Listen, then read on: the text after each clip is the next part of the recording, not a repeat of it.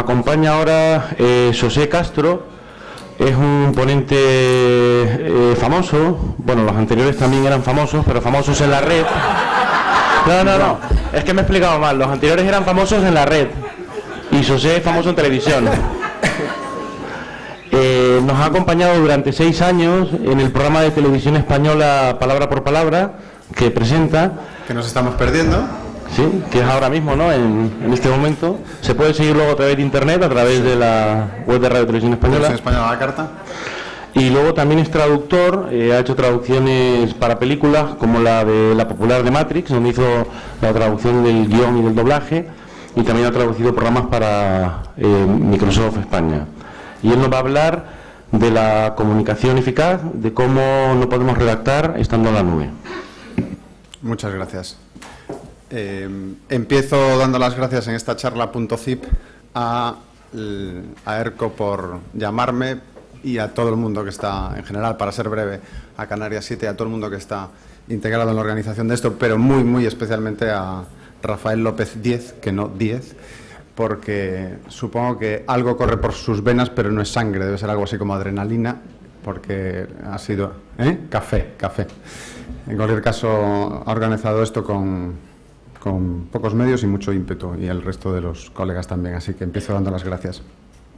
Em, eh, de lo que yo vengo a hablar aquí es de mi relación con... Yo doy clases de redacción en medios de comunicación y en empresas.com y, y, en cierto modo he sido y soy community manager. Yo soy un dinosaurio en Internet, tengo correo electrónico desde el año 90 y antes de Internet yo tenía una BBS en mi casa, con lo cual ya tenía, gestionaba foros y comunidades a nivel personal y como mi pasión son las comunicaciones y en general la redacción, creo que puedo aportar al menos algo de mi experiencia personal en este ratito.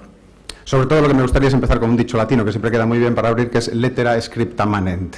Y es que la letra escrita permanece. Permanece desde un punto de vista jurídico y todo lo que digamos mal o bien va a permanecer ahí. En Internet casi nada se borra, con lo cual eso sería lo primero para abrir eh, las puertas de esto, es tener muy en cuenta que cuando escribimos eh, a diferencia de los papeles que vuelan, se queman o se destruyen, en Internet se queda. Así que tenemos que tener mucho cuidado y tener previsión de futuro para saber en un futuro dónde va a estar lo que nosotros escribimos y las implicaciones jurídicas y personales que puede tener. bueno, me gustaría empezar con esta cita que es sobre el estilo a la hora de redactar, que es el que tengo, me es natural y sin afectación ninguna, escribo como hablo, solamente tengo cuidado de usar palabras que signifiquen bien lo que quiero decir y lo digo cuanto más llanamente me es posible porque a mi parecer en ninguna lengua está bien la afectación. Esto que puede ser perfectamente un manual de estilo de redacción lo escribió este señor, Juan de Valdés, en 1535 y básicamente sigue siendo eh, aplicable hoy en día. Eh, vamos a hablar de cuestiones de, la imagen que proyectamos a través de... Me gustaría hablar de la imagen que proyectamos a través de la lengua em, y de lo que puedes llegar a causar simplemente por tu manera de escribir. A veces simplemente unas letras marcan la diferencia. Por ejemplo, si yo entro en un Facebook y entro en este grupo, un viaje de mil kilómetros comienza con un solo paso te apuntas, pues a lo mejor eh, puedo que me, entre una vena mística y diga, me parece fascinante este grupo y me voy a apuntar. O a lo mejor yo, que soy un poco friki, empiezo a ver mayúsculas por todas partes, falta de coma, una interrogación ahí, incluso la temática y puede que me eche para atrás. ¿no? Entonces, eh, simplemente el título, del, el título de un simple grupo puede que me atraiga o me cause un rechazo inmediato, independientemente de que el contenido a lo mejor eh, puede interesarme. Entonces, eh, en muchas ocasiones cuando estamos escribiendo en Internet y cuando redactamos y cuando somos representantes o abarcamos servicios o empresas, es probable que simplemente con una frase, igual por eso está importante la publicidad, a veces simplemente con una frase espantemos o atraigamos a la gente.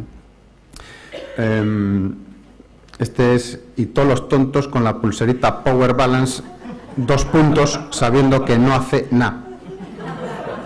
En la información del grupo dice que es mentira, ¿para qué te lo pone? Que te baja, caer para el lado si te la quita y todo el mundo con la pulserita. Esto a mí me parece una comunicación eficaz, es decir, y esto es la gran diferencia y una cosa que me gustaría dejar clara. Una cosa es escribir bien, yo no voy a hablar de cuestiones de la Real Academia y de escribir conforme a las normas, a los diccionarios, que es interesante, sino de comunicar bien. Entonces, dentro del registro que esta persona quiere buscar, pues está obviamente mofándose de la pulserita y quizás una buena forma de hacerlo y comunicar eficazmente esa, esa mofa es haciéndolo de esta manera. Podría haberlo hecho de una manera mucho más canónica, atendiendo a todas las normas y escribiendo mm, eh, perfectamente, y quizás lo sepa hacer, te entran dudas, pero... Eh, logra un efecto y curiosamente, a pesar de que a mí me puede espantar el primer grupo, a otros no, le dará la vena mística, empieza con sus inciensos y dice, ah, el viaje empieza, me apunto, pues a mí este a lo mejor me atrae. Todo depende, por supuesto, son cuestiones personales. Pero veamos, eh, me refiero, lo que quiero quedarme con esto es lo que hace el mensaje, lo que hacen las letras, lo que hacen las palabras cuando se juntan, ¿no? Tenemos este grupo, si no puedes diferenciar entre a ver y a ver mereces morir. Tiene bastantes seguidores, yo morir no, pero una paliza con un calcetín lleno de naranjas que no deja marcas, pues. Luego está, ya empiezan los, un poco los puristas que dicen gente que hace grupos con faltas de ortografía, con mayúsculas, que duelen a la vista. Eh, no sé por qué ortografía lo puso con mayúsculas, lo considero muy interesante o, importante. La cuestión es que eh, nos damos cuenta que en muchas ocasiones el hecho de que del uso de la lengua eh, condiciona a la gente. Y por último, este grupo sería tus faltas de ortografía me impiden unirme a tu grupo. Para los que no lo vean ahí abajo, tiene 130.247 personas que les gusta esto. No es una cantidad desdeñable. ¿eh? A lo mejor me gustaría poder decir, no, estos son unos frikis, pero yo si fuese community manager o responsable de comunidad, me cuestionaría si son todos unos frikis o realmente esto influye a la, gente a la hora de moverse por ciertas comunidades y por ciertos servicios, productos, etcétera. Bueno, el perfil del, Community Manager, tenemos que darnos cuenta de que la lengua sigue siendo un marcador cultural. Lo queramos o no, seamos un iconoclasta o no, como me decía a mí un directivo de una empresa que yo les daba clases de redacción, me decía, mira, yo, sé, yo escribo sin, sin acento, mayúscula, minúscula, y la gente me entiende. No, la gente claro que te entiende, por supuesto. La cuestión es la imagen que vas a dar tú de eso. Tendrás dos carreras y serás directivo de esta empresa, pero lo que te ha pasado, y por eso estoy dando este curso en esta empresa, es porque habéis enviado un mensaje electrónico a vuestros clientes tan mal redactado que pensaron que era phishing. Es decir, pensaron que eran unos timadores de Namibia o la viuda del difunto presidente Mobutu Seseko que quería invertir 10.000 millones de euros en España. Entonces tenéis un grave problema de comunicación. Yo estoy aquí porque tu jefe me ha dicho que tú redactas mal. Entonces, fíjate hasta qué, implicaciones económicas puede llegar a tener que tú seas un bestia y digas, nada, a mí todo el mundo me entiende. Claro que te entiende, pero la cuestión es, yo te entiendo. Tú me dices, de hecho la comunicación a veces es un estorbo. Es un chiste que me contó además un amigo aquí de Las Palmas. Me dijo, ¿cómo se dice en canario? Por favor, ¿podrías bajarte del capó de mi coche con esos zapatos que me lo estás rayando? Yacho, yacho, yacho, yacho, yacho. Es decir, a veces hay otra que es, que ni siquiera tiene palabras, que es... Entonces, Comunicación y lengua son dos cosas distintas. Podemos comunicar de distintas maneras. La cuestión es saber cuál es el destinatario de nuestro, de nuestro texto. Pero la lengua sigue siendo un marcador cultural. Nos va a marcar a esta persona la marca, marca su empresa, marca su producto y marca la imagen y la reputación. Y aparte es difícil. Yo no, ojalá fuese solo yo o fuese solo un frico, esos ciento y pico mil. Pero yo cuando una empresa veo que redacta de cierta manera, inmediatamente me da una sensación sobre que ya no he hablado de faltas de ortografía y cositas así, estas cosas las podemos. Hoy en día, además, en este mundo de la inmediatez, mil veces me han entrevistado en diciendo, oye, se está estropeando el lenguaje por los SMS, los jóvenes escriben fatal por, por SMS. Concho, claro, ¿cómo no van a escribir mal? Si tienes 140 caracteres y si te pasas de caracteres te cobran otro, ¿qué quieres? ¿Escribir en, aquí Roman Paladino? Pues no, es un servicio que se adapta, o sea, un lenguaje que se adapta al medio. No hay que confundir comunicación, insisto, con escritura. La lengua es un marcador cultural, o sea, nosotros no dejamos de ser los cromañones de hace 30.000 años, cuando un cromañón iba por el campo y de repente se acercaba otro humanoide, lo que pensaba era amigo, enemigo o comida. Estos son los tres pensamientos primarios. Trasladado al lenguaje de hoy en día, cuando una persona desconocida, un servicio, una empresa se acerca a mí, siguen vigentes esos mismos principios. Amigo, enemigo, comida. De hecho, podemos hacer una labor de introspección. Todos, cuando yo te hablo de una persona famosa que no conoces, Belén Esteban, o que, que, no conoces en persona, todo el mundo tiene una opinión personal. Me cae bien, me cae mal. Tenemos una necesidad de clasificar a la gente. Tenemos necesidad de decir, esta empresa me cae bien o me cae mal. Muy, poca gente cuando le preguntas sobre casi cualquier cosa, y especialmente personas, dice, no, yo no tengo ninguna opinión sobre ella. No, generalmente necesitamos eso. Por eso a veces a través del lenguaje podemos favorecer muchísimo esa imagen que damos de la empresa. Y escribimos como nos vestimos. Todo el mundo se sabe vestir, como el ejemplo de este directivo que os contaba, pero la cuestión es que hay que elegir la ropa adecuada. Yo, fuera de este contexto, me bajo de aquí y empiezo a hablar con vosotros y tengo una ropa y tengo una forma de vestir y cambio de registro. Tengo que saber cuándo soy community manager y cuándo soy José Castro y estoy fuera de aquí, estoy en mi contexto. Lo cual no quita. Yo, por ejemplo, cuando me dedico a cosas de lengua, me encuentro a veces, me presentan a gente y dice, ay, no sé cómo hablar contigo, porque como tú te dedicas a cosas de lengua. Y yo, pues como quieras.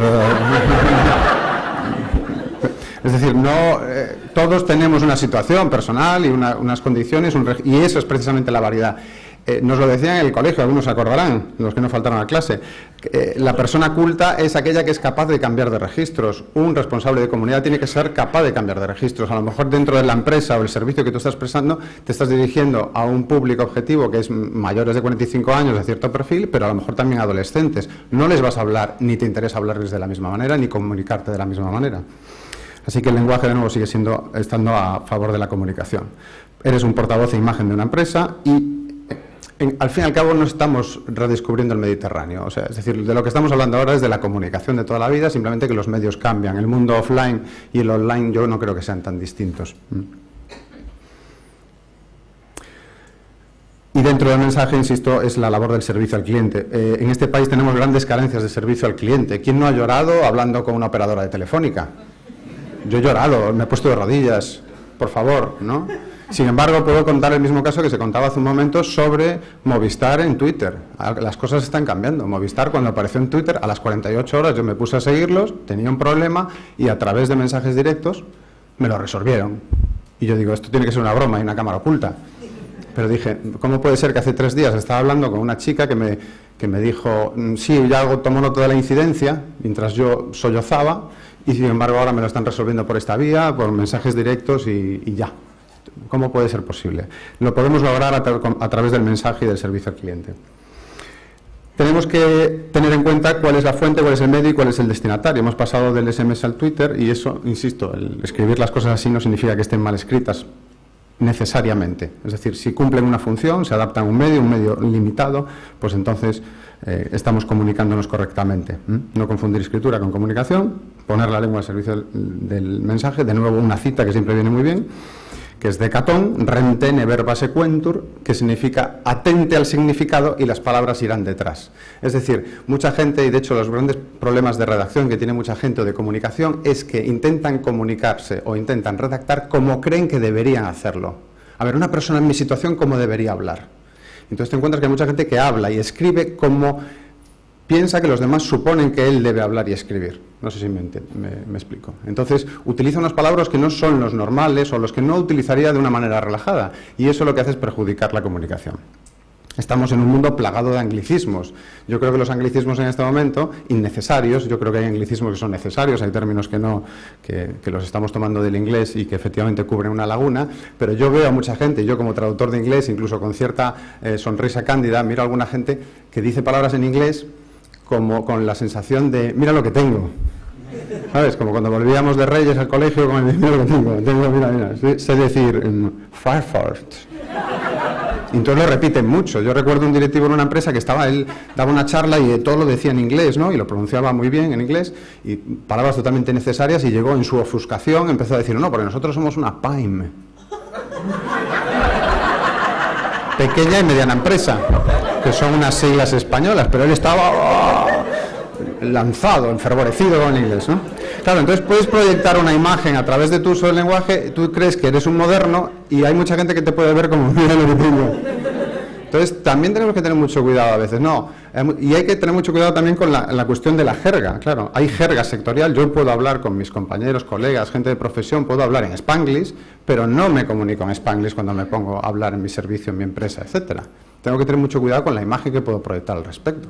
Puedo proyectar una imagen de arrogancia, porque si yo estoy leyendo algo y me utiliza un palabra en inglés que no conozco, y ahora lo veremos, puedo em, encontrar una, sensación de rechazo por parte del lector o por parte del usuario o el comprador del servicio.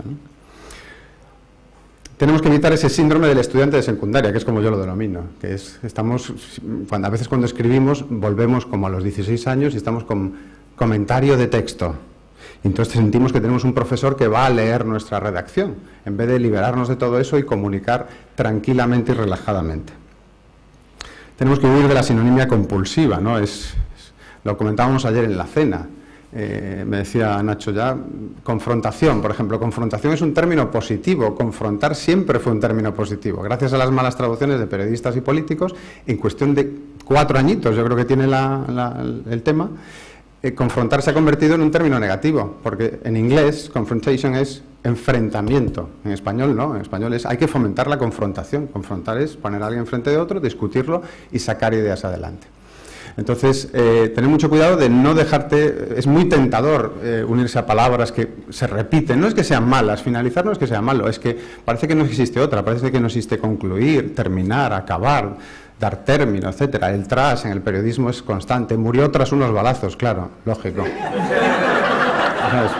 Se cayó del, del séptimo piso, muere tras caerse del séptimo piso, claro. Entonces, hay ese tipo de, fórmulas, el tras aparece constantemente ahora en registrar, es, la nueva, es el nuevo contabilizar de los años 90. En los años 90 todo se contabilizaba. Entonces decía, se contabilizan, eh, se están contabilizando tantos eh, accidentes esta Semana Santa.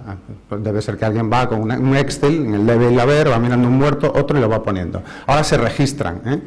y, llegamos a cosas totalmente, llegamos a un lenguaje muy vacuo pretendiendo comunicar bien, que es el ejemplo, un ejemplo podría ser el de la meteorología, como le decía yo a una compañera en televisión, que es, se registraron precipitaciones en forma de, nieve, o sea, nevó. Entonces dice, ¿por qué dices esa tontería? Eh, es que se dice así. No, no, no, no nos confundamos. No es jerga meteorológica, es mal hablado. Lo que pasa es que tú te crees que es tu jerga. Es decir, si yo digo palabras en mi jerga, pues está muy bien dentro de mi jerga, pero luego yo me debo a un público que no está dentro de mi sector. Entonces, insisto, a veces tenemos que traducirnos para comunicarnos bien. Em, opcional, por ejemplo, ya no, parece que no existe optativo, luego todas estas palabras, multidisciplinariedad, estas nos, nos apasionan. ¿no? Entonces, hay que tener en cuenta sobre todo, y esto a mí me preocupa, que es tener presente el teorema del hispano el hispanohablante, y esto es algo propio de la cultura hispanohablante, de la española y de la hispanohablante en general, y no tanto de otras, tiene, eh, y esto es una teoría mía, que yo creo que he comprobado, cuando no entiende algo piensa que el burro es él. Y quizás todos, si hacemos un poquito de memoria, podamos recordar situaciones parecidas. Yo, sin ir más lejos, el año pasado recibí una carta de la Seguridad Social, una carta simple en la que me pedían un papelito, un párrafo, dos párrafos, tres párrafos, termino la carta y digo, no entiendo nada.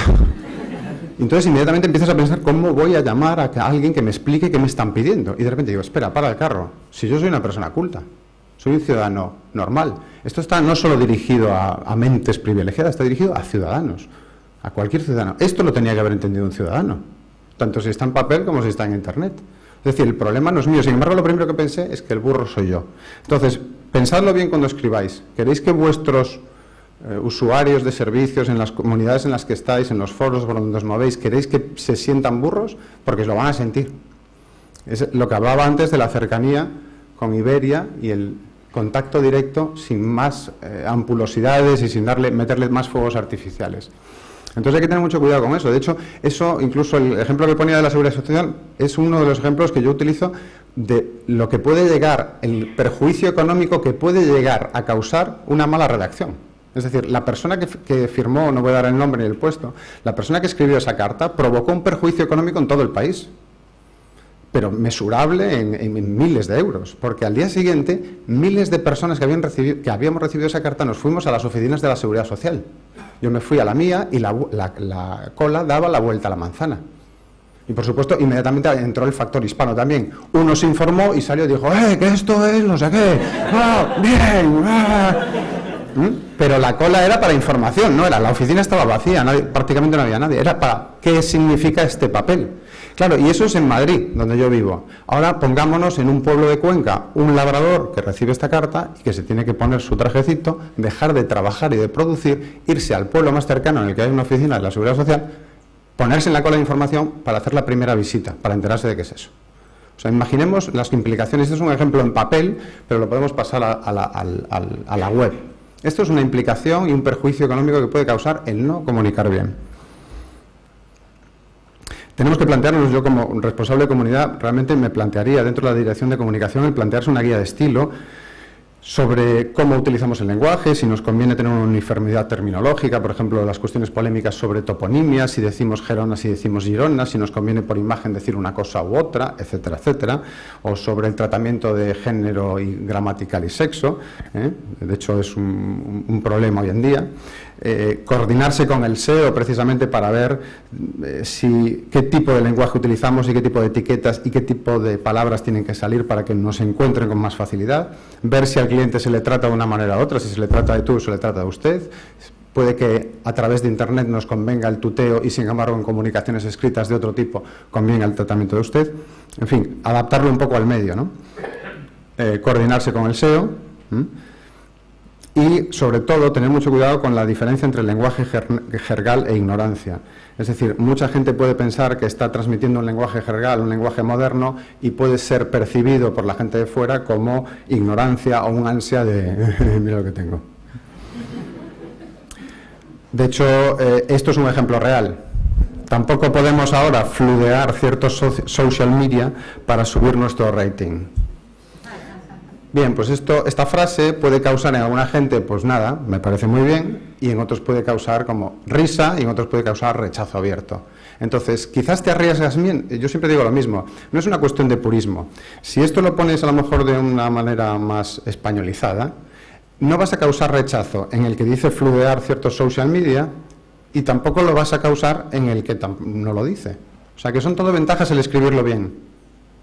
¿Eh? No es una cuestión de purismo, de no, hay que utilizar el español, no. Si puedes comunicar, insisto, no hablo tanto de utilizar inglés o español, si puedes comunicarlo de una manera más eficaz, yo creo que debes hacerlo.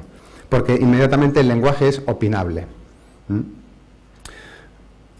La, reputación que debe dar un community manager a sus empresas, desde mi punto de vista, se basa en tres elementos. En el conocimiento del producto o servicio que está ofreciendo, la exposición rápida y adecuada al medio y al destinatario, como ponía en el ejemplo de antes, con el caso de, Iberia o en el caso mío con Movistar, inmediata, reacción con conocimiento y una presentación limpia del mensaje.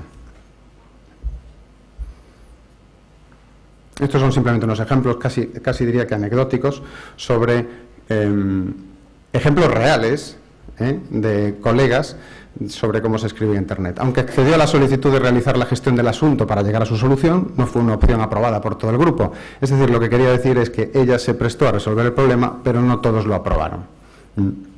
Esto es la, la, perífrasis verbal constante. ¿no? Estas son todas y cada una de las ideas a implementar para efectuar la adecuada gestión del proyecto. Es decir, estas son las tareas necesarias para gestionar el proyecto. A veces incluso puedes decir, para efectuar la adecuada gestión, ¿alguien quiere no hacer una gestión que sea adecuada? Quizás a veces es un poco redundante. A veces queremos ser redundantes o queremos ser enfáticos, ¿no? pero puede que en este caso no. Nuestro agente procederá a realizar la inspección de reclamación. Esto me lo dijeron a mí. O sea, nuestro agente cursará su reclamación. O sea, se encargará de investigar o darle solución a la reclamación. Como están de moda los decálogos, pues yo me prefiero sexálogo, porque aparte tiene su puntito, que son seis puntos. Serían seis puntos para comunicarse y redactar bien en Internet. Por un, por un lado, documentate. Cada afirmación que hagas debe tener un pilar en el que se debe apoyar y un pilar jurídico en muchas ocasiones. No estás dando tu opinión personal como responsable de comunidad, estás representando una empresa, una marca, un servicio o lo que quieras. Documentate bien, no vale, no, es que la mayoría de la gente, la mayoría de nuestros usuarios están contentos con, cuidado, porque la respuesta a eso puede ser, ¿qué es la mayoría? ¿Dónde es la mayoría? ¿De dónde sacas el dato de la mayoría? Dame un enlace para ver cuál es la mayoría. Y te puedes ver atrapado en una conversación que queda registrada y no se borra. Así que mucho cuidado con las afirmaciones que no, tienen no se sustentan, porque es muy tentador, y se ha dicho ya aquí varias veces, las cuestiones del ego, las cuestiones de que uno está ahí y es una persona ante su máquina y se encuentra con un, un nivel de poder que tiene que controlar. Haz un borrador de la idea que quieres transmitir, pero incluso que escribas por Twitter, ¿eh? Replantéatelo. A mí Twitter además me, resulta muy, muy cómodo y es un, me, encuentro muy, muy fluido en Twitter porque yo soy subtitulador también. Estoy muy acostumbrado a escribir y tener que cortar. Los subtítulos en televisión y en cine uno tiene que escribir muchísimo y cuando tiene ya la traducción perfecta dices, ah, me sobran 20 caracteres. Y entonces tienes que meter tijera y es casi un arte. Y es, todos nos hemos visto ahí lidiando con los 140 caracteres del demonio. Pero nos permite en muchas ocasiones, a mí me parece un ejercicio muy bueno de brevedad en la comunicación sin perder eh, contenido. ¿eh? Eso, es lo importante. Pero en cualquier caso, haz un borrador. No te digo que hagas un borrador escrito, haz un borrador mental. Plantéate primero lo que vas a escribir. En tercer lugar, adapta el mensaje al contexto, al medio y al sector. Y cuidado con las negritas, porque se está creando una ortografía alternativa. ¿no? Yo también soy corrector editorial y, mucha, claro, el problema que he tenido es la invasión de Word en el mundo. Word de repente tiene un botón que pone subrayado y un botón que tiene negrita. Y claro, la gente le da. Igual que existe una alta que se llama Comic Sans, que deberían prohibir por ley, pero la gente la utiliza para cualquier cosa. Entonces, vamos a ver, el subrayado no existe. El subrayado es un botón que puso Word ahí. En el mundo editorial, en el mundo editorial serio, no existe el subrayado. Estamos aquí en Canarias 7, agarren el Canarias 7, busquen de la primera a la última página y busquen un subrayado. O cojan un libro de, de, de Espasa o de Alfaguara y busquen subrayados. No existen. Sin embargo, como hay un botón ahí, la gente subraya, ah, no, pero yo lo pongo y... Bien, claro, hay una cosa que se llama tipografía, que es una profesión y es un arte, y hay cientos de libros sobre tipografía, pero nosotros tenemos acceso a través de la informática a esos medios. Nos conviene informarnos un poquito de cómo se escribe y qué forma se da el texto. Y cuidado, no se pone negrita donde a uno le dé la gana. No resaltamos así, como queremos, las cosas importantes poniéndolas simplemente en mayúsculas. No, porque eso puede causar la sensación, como decía antes, de este tipo no sabe escribir. ¿O por qué pone esto en mayúsculas? ¿Por qué pone ortografía en mayúsculas? ¿Por qué pone toda esta frase en mayúsculas? ¿Por qué pone en negrita esto que él considera importante y yo no lo considero? Entonces, mucho cuidado. En estos casos yo creo que hay que ser un poquito minimalistas, un poco sobrios, que a veces tendemos a ponerle muchas bolitas de Navidad a los mensajes.